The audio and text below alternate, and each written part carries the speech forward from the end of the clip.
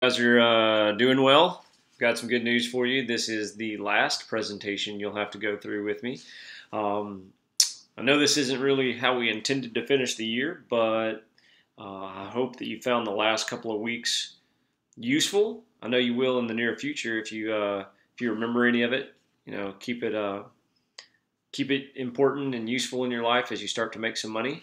Um, and one last thing we didn't cover that we're going to hop right in here today, and then we'll catch up at the end is um, let's get you that job first, right? Let's not uh, let's not jump to saving the money from the from the job. Let's actually let's get you that job. So without further ado, we'll hop right in here. Uh, it's going to be super useful. It's not just applying for a job. It's going to be several things. Um, so I'm going to help you create a resume, write a professional email, and attach your resume, and fill out an application. Now, this professional email part here in the middle is huge. Uh, I've learned that in the last few weeks since we've been doing this. Uh, a lot of you guys have no clue how you should actually be addressing uh, teachers and potential employers and then professors and all these folks that you're going to be needing to email in the near future. So you really got to clean that up. Uh, you know, it, it's going to be important for, you know, like if you're going to go to college um, and communicate with your professor, man, you don't want to put them off right away. You want you want them to read your email and be like, oh, that's an intelligible person, and and maybe an intelligent person as well, and and um, they'll be more receptive to whatever argument or you know whatever you're trying to get across in your email. Same with an employer. You know, you write a silly little email, they might just chunk your application and resume in the garbage. So let's hop right in here. Uh, why do I even need a resume? You might be thinking you're a young person. You haven't done anything. How do you know? I mean, what, what could you possibly put in a, in a resume? Well, one thing right off the bat, it's going to show a potential employer that you put some time into this, that you didn't just, uh, you know, okay, I need a job. My mom says I need a job. I'm going to look online, find a job, and, you know, send some junk out. Like, take some time, make it look pretty good, show them that you care. If you do it well, it can actually set you apart from other applicants, even if it doesn't say a whole lot. Just if it looks nice and crisp, it's to the point, um, then then it could set you apart. It also shows respect for the employer's time. You know, I've I've been on the, the end of hiring before. Uh, you know, in previous careers before I became a teacher. Um, it's not. It doesn't show a lot of respect for the employer's time if I have to go through as the as the person who might be hiring and look at a lot of really terrible emails and resumes and applications. Okay, that just gets moved to the bottom of the pile or to the trash. All right, so to prepare your resume, uh, there's going to be a sample resume on the next slide that covers uh, the most important things that you need to include. Um, it's also important to set yourself apart, but uh, you need to avoid some huge mistakes that can make uh, employers pass you up real quick. Because you got to remember, on the first go through, employers are going to thumb through all the applications resumes real fast and find the ones that they can definitely chunk. Okay, that's the way they do it. It's the way it's always been done. You go through and you can find the ones that you can just easily throw away to begin with.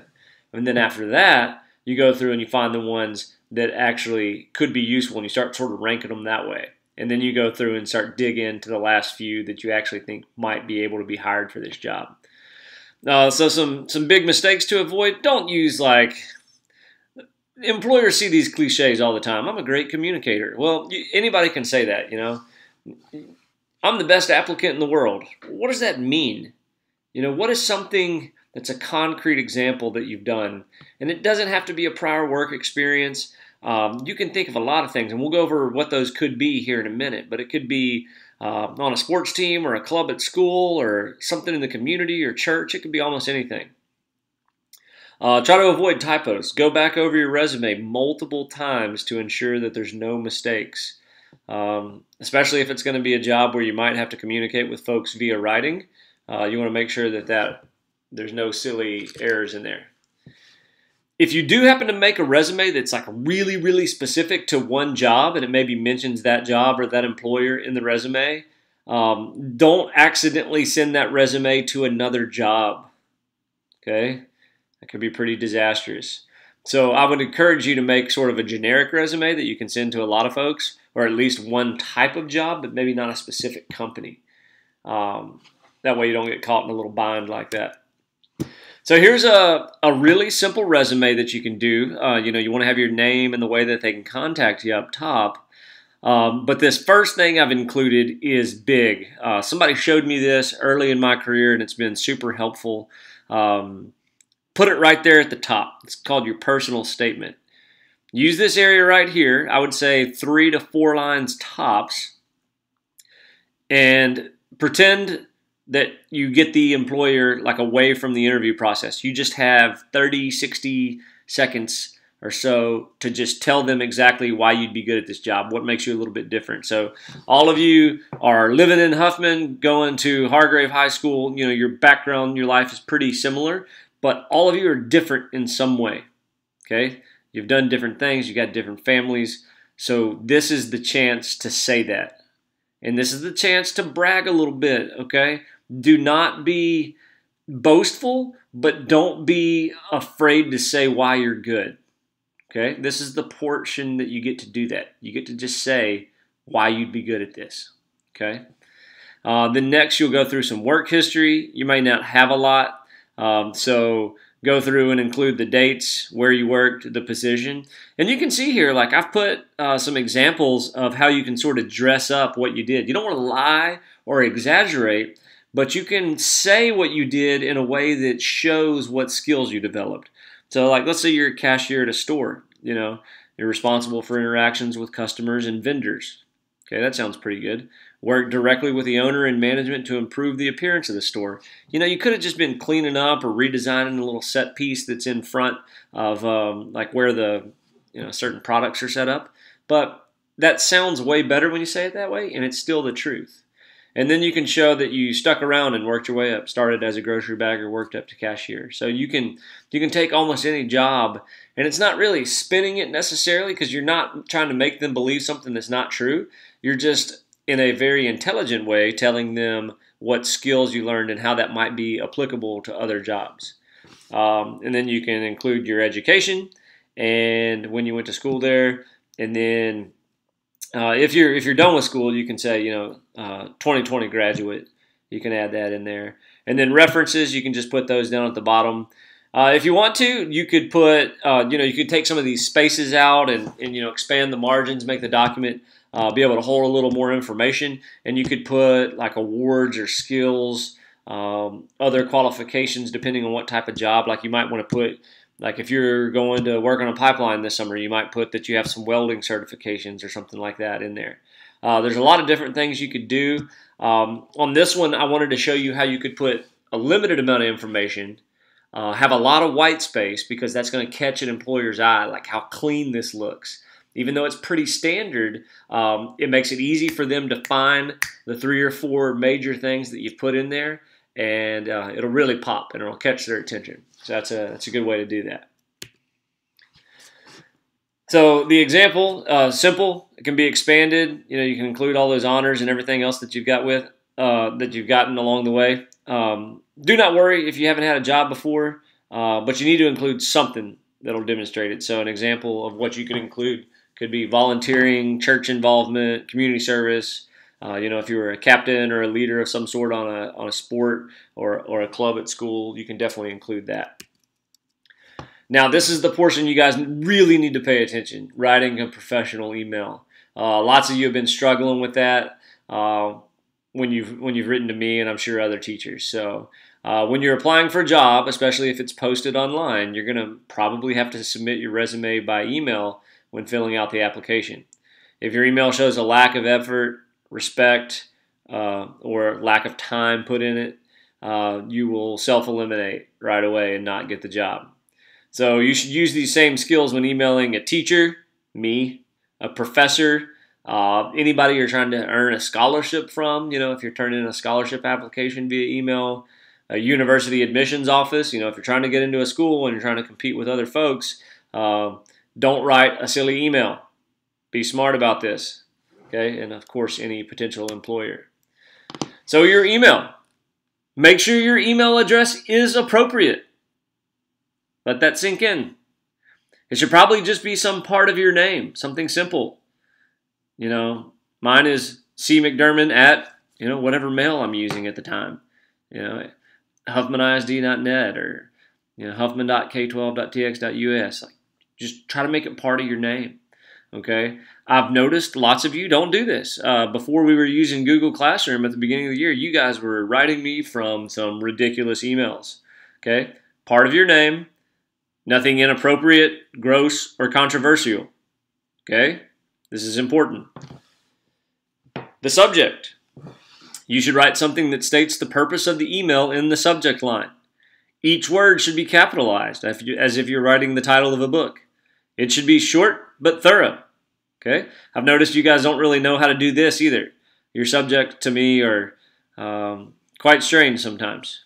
So if you'll notice when I've written you guys directly, I always try to write a good example of what that should look like. So the examples here. Joe Smith, application and resume. That would be a great subject if your name was Joe Smith. You can replace that with your name. Example two, question regarding resume assignment. So if you were going to write me a question about this resume assignment, that might be the title of your email, the subject line. And then when you get started, get things started off on the right foot. When you write a greeting, write something appropriate and addresses them with respect. Uh, definitely not just, hey, heard you had a job, right? A good example might be, good morning, Miss Williams, or whoever it is. Put a comma there, and jump down to the body of the email. Uh, I think it's a really good idea to thank them for their time. Now, don't sit there and like gush over how thankful you are, but just say it and move on. State why you're writing to them. Use full sentences and proper punctuation. Uh, capitalize. The reason I put that as a one word sentence, even though that's not ideal for you writing your email, is because you guys are so used to texting that uh, your emails look silly sometimes. You want to make sure you don't do that if you're trying to get a job. So, a reminder this is not a text. Example of what a body of the email could be like it could be short, respectful, and get out of there. Thank you for taking time to receive my email today. I'm interested in the opening you have for a cashier at your company. I've attached my resume in this email. Please feel free to contact me with any further questions or if you wish to set up an interview. Thanks again for your time, and I look forward to hearing from you soon. Okay, that's all you got to put. Then we'll go down to the bottom. You'll have a closing salutation uh, and your email signature. So any number of words can be used to professionally say goodbye in an email. Cordially, sincerely, regards, anything like that. You can look up more online if you don't like those. Um, you'll also want to create an email signature. Uh, you can do it to where it just pops up every time on your email. So you can do that. Uh, you'll notice that mine's the same all the time. Okay, make it simple. Uh, you can put your closing salutation there, uh, and then your email signature is usually just your name uh, your phone number, and your email. Makes it super simple. Be sure to attach your email or attach your resume to the email correctly and make sure it's on there before you hit send. Because if you tell them that your resume is attached and then you hit send and you haven't attached the resume yet, then that's already a warning sign to them that maybe you're not uh, paying attention to what you're doing and maybe you wouldn't be the best employee. Now, we know that's not always true. I've done it many, many times. I'm sure you have too. You know, everybody can probably admit to that if they're being honest. Um, that doesn't make you a bad employee, but it may be a warning sign in the process when lots of people are applying for jobs. Uh, it's really best to convert your resume to a PDF so that it cannot be altered easily. Uh, but it also ensures that it can be opened by almost anybody, even if they're using a PC or a Mac. So, uh, what, what I mean by that is if you send a Word file, like a Microsoft Word file, to somebody that uses Mac, um, then it might either not open or open funny. Uh, if you send, if you use a Mac and you make it in Pages and send it some, to somebody that's using a PC, Word will not open Pages at all. Pages will open Word, but not the other way around. Um, so as you progress in life and in your career, you may want to include a cover letter as well. We're not going to go over that today. It's basically uh, just a short letter that'll be somewhat like the body of the email you sent, and uh, it'll just be an expansion on your personal statement, your education, and your experience. So you'll just get to add some detail about those things you were saying about yourself, you know, um, and it gives you kind of an opportunity to expand on that. Uh, you know, that's where maybe you can tug on the heartstrings a little bit, or you know, do a little persuasive speaking, so to speak. Uh, proofread one more time. Okay, go back through your resume again to ensure there's no mistakes. Make sure you gave your application the same amount of attention as your email and resume. So if there's like a online application or if you had to fill something out or if you had to attach it, um, just make sure you did all the appropriate capitalization and punctuation of any actual application you did. And then again, I'm putting this on there again, double check that you actually attached your resume. Here's a few resources to help. There's a, um, a video about writing a resume. Just got some helpful information in there. Uh, we didn't get to spend much time on this. Um, I talked about it maybe once or twice right before we got out. Um, this is a really cool website that talks about you basically click on a city in Texas and then you, um, you, you answer some questions. It's basically about what kind of lifestyle you want to live. And then it tells you how much you have to make uh, per month at your job to live in that city. So it's a uh, pretty interesting reality check for some of you guys. You might want to check that out. And then the last one is the um, a video showing the steps to actually create a resume in Word. So not what to put in it, but how to construct it. Like so, how to make that in Microsoft Word so that it uh, so that it looks good. So more of the sort of the construction side of it. So the good news is that is the last presentation we'll have to do. Um, so that's it, guys. Um, if you ever have any questions about anything that we've covered, uh, or just anything at all that you think I might be able to help with, you know how to contact me. You know what the email address is. Um, good luck out there. You know, I don't know what graduation is going to look like. So if this is the last time you see my ugly face, uh, just remember we've kind of given you some things uh, at the beginning of the year in government that uh, are important. You remember we talked a lot about, um, you know, don't put all your faith in, you know, a team, which is essentially a political, you know, might be in charge or anything like that. Okay, given time, because that's going to change. You know, political parties, leaders, they're going to come and go. Put your faith in the ideals that you believe in, and then go back and look at some of those things we talked about. You know, the ideals that uh, were there when this country was created. So look at that. Then as we move forward into economics, um, hopefully you've learned some things about how the world operates, and then these last few weeks, uh, maybe some things that'll help you be real successful in it. So again, uh, I'll leave you with this. Um, you know, you can do all those other things we talked about, but one thing that's going to help you um, go the furthest and, and make life a little bit easier is just always try to be a good human. Okay, if you start there, uh, you'll be in real good shape. So that's all I've got for you. Uh, this is posted on the um, as a just a PowerPoint you can click through as well. And there's just going to be one assignment. You're going to need to write a resume yourself. You get to pick the job, so it needs to be a real job. You find it. Uh, you'll submit the resume to me, and you'll also um, uh, submit the body of an email to me. Uh, saying that you're going to attach that resume and that you're applying for the job. So you get a little bit of practice. I'll give you some feedback. Um, unless you just crush it and you do really well, then I'll just give you a 100. Um, and then we can move on. So see you guys later.